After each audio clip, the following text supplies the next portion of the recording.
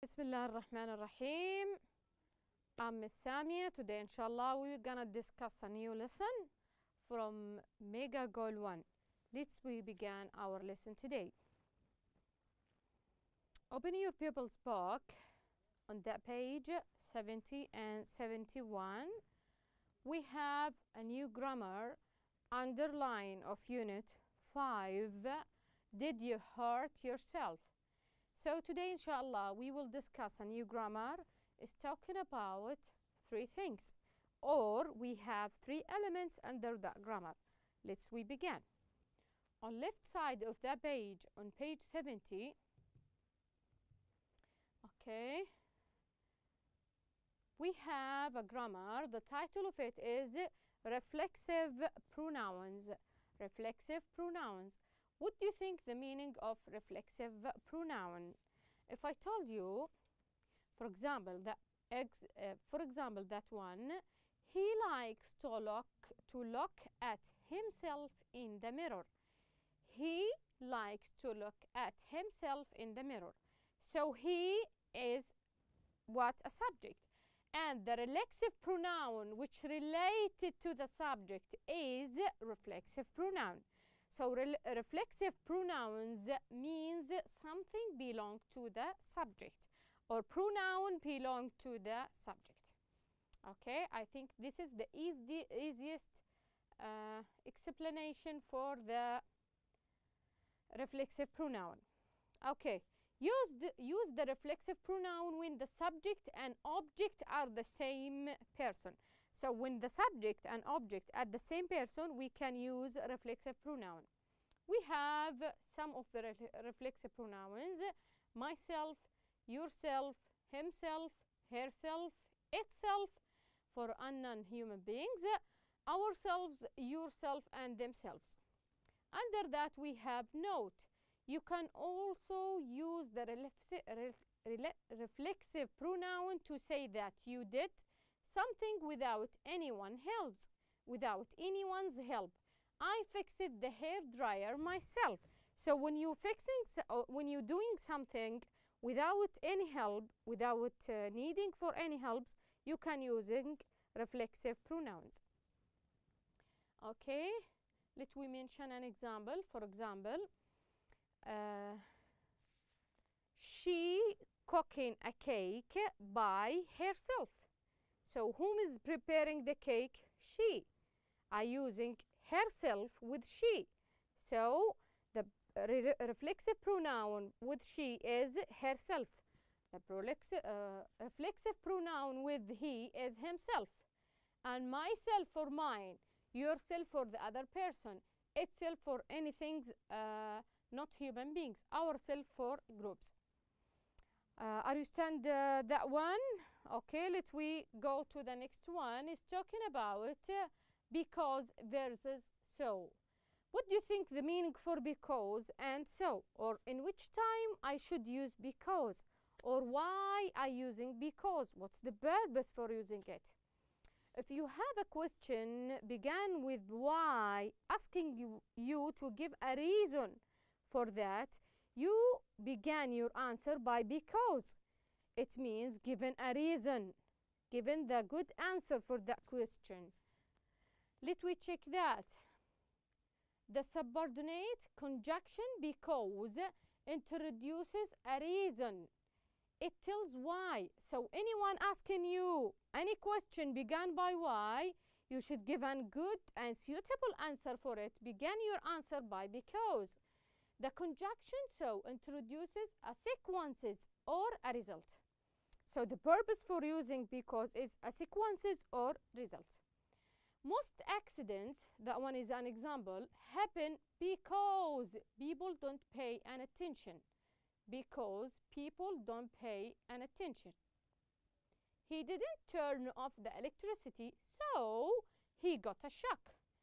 So that one is for uh, sequences and because for a result. That's the difference between because and. Did you understand the meaning for because and so? Yes.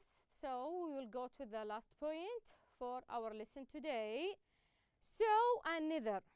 The first one is talking about reflexive pronoun, and we uh, already discussed what's the meaning of it and uh, how can we use it and or in which time we can use it. The next step is talking about between because and so and in which time or the suitable purpose for using so and because. Now I want to using so and neither or what's the difference between so and neither? Let me check. So and neither both show both. Both it means all two. Both show agreement with the speaker. So if you have an agreement, you can use so or neither, but in a difficult situation. So so shows agreement with affirmative. Pay attention for that. Affirmative statements. If you affirmative, it means you agree that you should use so. That means you are agree with that sentence. Neither shows agreement with a negative with a negative statements. If your sentence or statements is a negative, you should using neither, not so. That's the difference between so and neither. We have a dialogue here between two uh, person, one A and one B. Let we hearing what they have, or let we discuss what they have here. A, I'm a careful driver. B, so am I. Because A had affirmative statements, B answer so. A, I hurt myself all the time. B, so do I. Because the statements here is affirmative, the, the, the second person uh, using so. The third one, I burned myself on the stove. So, I did I, so did I. When the affirmative, uh, when the statements is affirmative, he using so. Four, I have been in one car accident in my life. That means that he agree and he give an information that he have an accident one time in his life. So be answering or re uh, replay his answer by so have I, okay? And the next one is talking about neither or the sentence belong to neither. A, I'm not an aggressive driver. I'm not. So they negative statements. They be they given a negative statement. B, neither am I, neither am I. Two, I'm very seldom cut myself. I'm very seldom cut myself. B, neither do I, neither do I. And three, I didn't sleep, uh, sorry, I didn't sleep on the wet floor. I didn't sleep on the wet floor. B, neither did I, ne neither did I. The last one is, I have never broken an arm or leg. I have never, never, it's the same meaning for not. Never broken an arm or leg. Neither have I, neither have I. This is the last section for our lesson on the left side of page. Let we go to the next page. We have uh, uh, an exercises to make sure that you can you understand what we talking before about the grammar on the previous page. Complete the sentence with the correct reflexive pronoun. We have myself, itself, yourself, ourself, himself, yourselves, and herself and themselves. And we have six sentences here. Sarah cut space while she was peeling potatoes. Number two, the instructions on the box say, do it, and space. Three, I burned space when I was making fries. Four, my grandfather slept on the rug and hurt space. Five, the people injured space when they were escaping from the bull. And six, we were interviewed, uh, interviewed for a TV show, and last night we saw space on a channel 9. Okay, if you want to look for number one, so what do you think the suitable answer for it? Sarah. Sarah, it's equal to she. She is a girl. So what do you think the suitable answer for it? Hmm. So the suitable uh, answer for it is herself. Is herself. Let me check the answer here. So number one is herself. It goes with sarah okay? Because she is a girl. She with herself. The instruction on the box say do it yourself. Do it. He calling what? Calling you. So you it comes with reflexive pronoun yourself. Number three i burned myself when i was making fries. Who is talking here? Who's the subject? I. So i becomes with myself. What is myself here? That one is suitable for it. And where is yourself? That one it comes with you. Let me check four. My grandfather slept on the- rug slept and hurt himself. My grandfather my grandfather is a man. It's equal to he. So i talking about another person okay?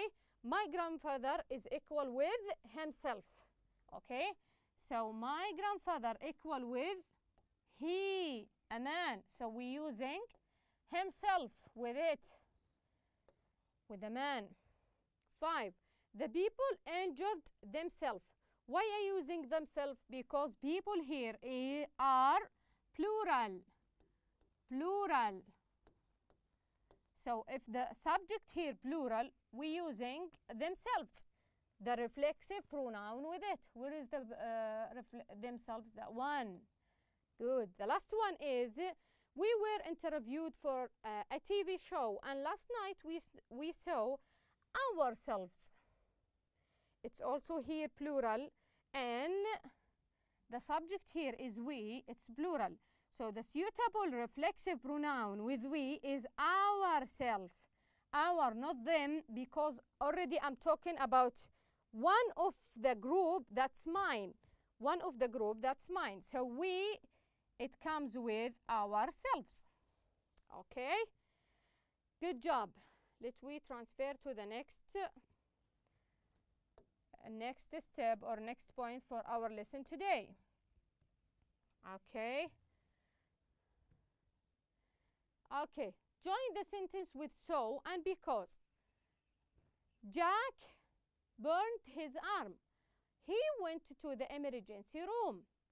Jack burned his arm so he went to the emergency room. That's an example and they want you to make it one time by so and one time by because. So under all that uh, sentence or statements you should make two times. One using so uh, consequences and one with uh, because. Let we take 1 and 5 as an example okay? So if i want to talk number 1 the floor was wet. Ahmed slipped slipped and fell and fell. The floor was wet. So so we can write one with so and one. So ahmed slipped and fell. If you want to using so you should remove the full stop and put comma between two sentences. Before so. So the floor was wet comma so ahmed slipped and fell. This is by so. Number two ahmed slipped and fell because the floor was wet. Ahmed slipped and fell because the floor was wet. If you, you want to using because you should remove the comma and remove the full stop and make it one sentence. Put the statements at the beginning and the reason after because okay? Ahmed slipped and fell because the floor was wet. That is the, the answer for one let we make number six i got my hands all blue full stop i didn't read the wet paint sign so what's the answer with so and because I didn't read the wet uh, paint sign, comma. So I got my hands uh, all blue. That they are changing the uh, uh, uh, statements and put the second one at the beginning. Number two, I got my hands all blue because, if you notice here, no comma and no full stop before because. because I didn't read the wet pen sign. So this is our lesson today. It's talking about three things, reflective pronoun, so and, neither, and the last one, so and because. Okay? Thank you for sharing and thank you for joining to our classes.